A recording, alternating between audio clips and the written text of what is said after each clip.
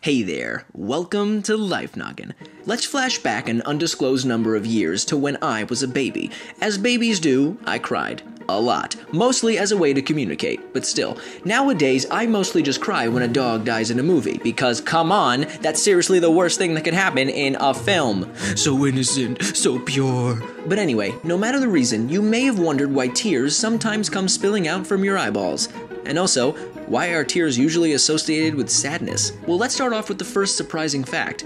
You actually have three different types of tears basal, reflex, and emotional. All three of these are activated by different stimuli, but are all formed in the same way. See, between your eyeball and eyelid sits the lacrimal gland, which both produces and drains your tears. But before one leaves your eye in a little drop, you blink and spread the tear across your eye, coating it in liquid. And that is actually the role of basal tears. These guys have the job of keeping your cornea, the transparent layer over your eyeball, from drying out. They are always present and cover your eye in water, oil, and mucus. On average, humans produce between 5 to 10 ounces of basal tears a day, which fun fact, is roughly equivalent to a measuring cup. Next up are the reflex tears. These are the tears that show up when an irritant gets in your eye, like smoke and onions. I promise I'm not crying over the dog thing anymore, it's just the onions, so leave me alone. When this happens, your cornea sends the signal to the brain that it needs more lubrication, and then you cry. These tears are mostly just formed from water, and if there's too much for the eye's drainage system to handle,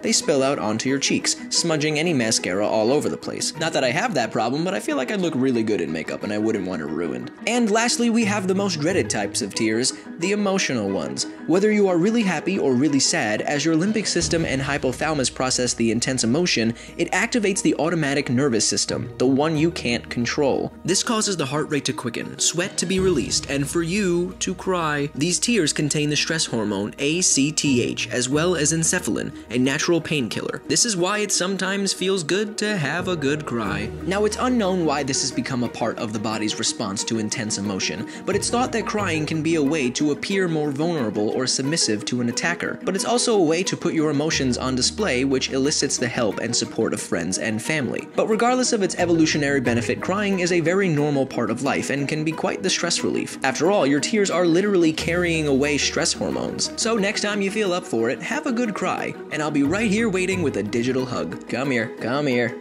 There you go. If you don't mind sharing, what's the last thing you cried about? And what else do you want to know about the human body? Let us know in the comment section below. Make sure you come back every Monday for a brand new video. As always, I'm Blocko. This has been Life Noggin. Don't forget to keep on thinking.